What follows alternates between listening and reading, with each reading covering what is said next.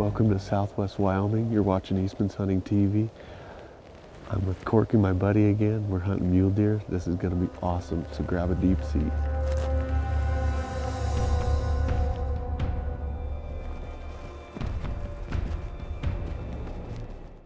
It begins with a legendary pioneer in wildlife filming. Wilderness, adventure, and fair chase trophies define him. A son adds to the legacy and becomes the voice for a generation of hunters. Today, the third generation pursues trophy big game in places where success comes from skill, determination, and grit. Now, 60 years of hunting tradition comes down to one defining moment. We're the Eastmans. We've been filming and hunting for over 60 years and three generations, and these are just a few of our adventures. This is Eastman's Hunting TV. It's big game hunting, and it's as real as it gets.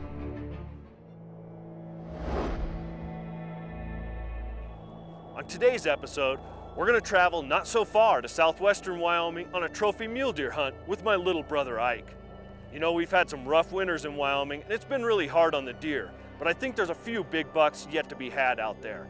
Ike's going to be hunting in the second week of October, which is normally a really tough time to hunt mule deer. The weather's been hot and dry, but we're hoping for the best.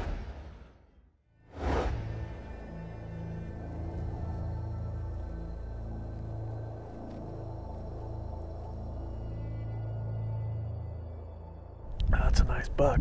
He's a three by three. He's really wide, but he's a three by three. Pretty young bucks. Hang out with two other young bucks. One's a four by three, and one's a, a little four by three. So we'll let them live for another day. But he's wide for a three by three. He's a wide, wide. So far, Ike and Corky have turned up a lot of younger bucks in the area, but they're looking for that one old moss-horned warrior that somehow has managed to make it through the bad winters and the drought.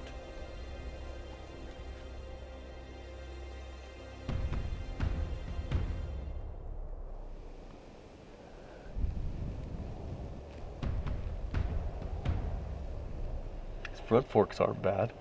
I Can't believe he's still standing there. Got a Roman nose on him, doesn't he? Yeah. It's a nice buck. How about that? Look at that. By himself. He's a great buck. Great buck, especially for Wyoming this time of year. You know, with the the winter that we had a few years ago and winter kill and all that stuff. We just couldn't see what he was. Didn't know what buck he was, and he jumped up and ran and didn't give us an opportunity. But we could find him again.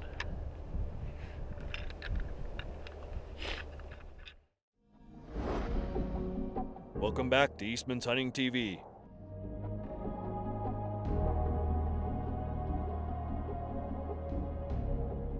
The middle of October can be a very tough time of year to hunt mule deer bucks, as the bucks become very nocturnal. Ike is hoping a mature buck has moved into this patch of buckbrush. This is why I love hunting down here. Just buck after buck after buck after buck. Like mule deer hunter's candy land. That's a really good buck. He's just crabby on his on his left front. Um, at first we thought he had a little trash, but really what it is is he hasn't rubbed off his velvet yet. And it's kind of dangling on his back. But uh, he's a really nice buck. We've seen some really nice bucks this year and a ton of deer.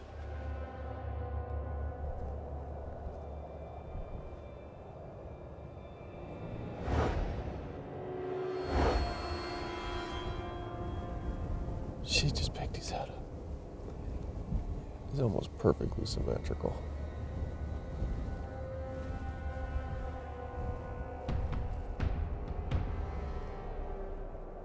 Ike has decided to try to make a play on the white buck. But after he and Corky get onto the hillside the bucks were feeding on, it looks like the brush is a lot thicker and harder to see into than it was from across the canyon.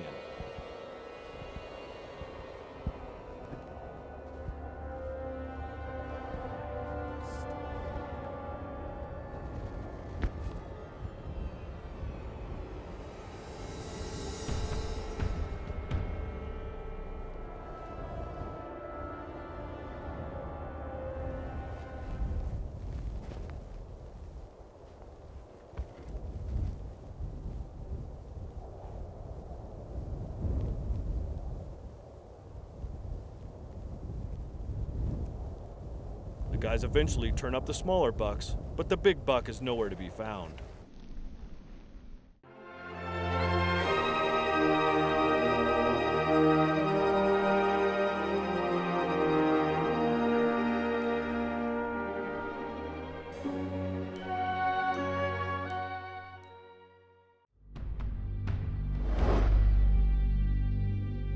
Welcome back to the sagebrush country of southern Wyoming. My brother Ike and his buddy Corky are looking for a big Wyoming buck they found earlier on in the hunt. Let's pick things up and see if the guys can manage to pull it out at the last minute and get the big buck on the ground before the season ends. Well, we're gonna walk over the end of this ridge. See if we can find that buck. He should be bedded down over there. We sat sat and watched and watched and watched. We never again, leave. So When you find yourself hunting mule deer during the middle of October, you have to be dedicated and persistent. Ike and Corky have been looking over this patch of brush in this drainage for two solid days now, waiting and hoping the big buck will make a mistake and show himself one final time before the end of the season.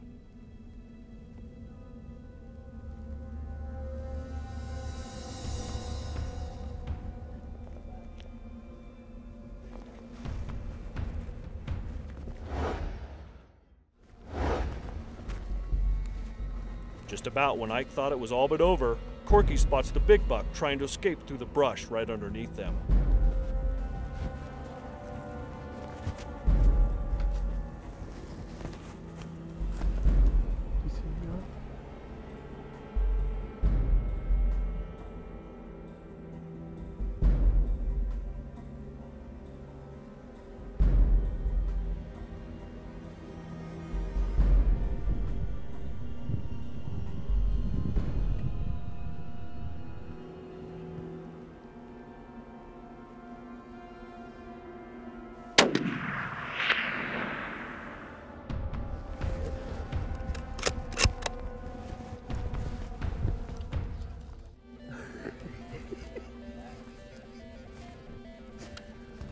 Look at this old dude. Look at that. Look how heavy that buck is. He's a mossback. Look at all the been raking and oh. Look at this. He hasn't even rubbed off. Big old mass. Good lord, look how massive he is in web. He's just a, a bruiser of an old buck coming off the drought. Look at his big old Roman nose and gray face. So we took this great buck. This deer's an old buck. You can see his big old Roman nose. I mean, he's got webbing that won't stop. He's got all this stuff going on down here. He's got big old huge bases, got real nice main beams. He's just a great, great representation of a great buck in Wyoming. I'd like to thank Corky and his family, Wendell and Debbie. Thanks for watching today. And remember, fair chase is the only way to hunt and take trophy big game. We'll see you next week on Eastman's Hunting TV. Make sure you subscribe to our YouTube channel right here for Eastman exclusive web content.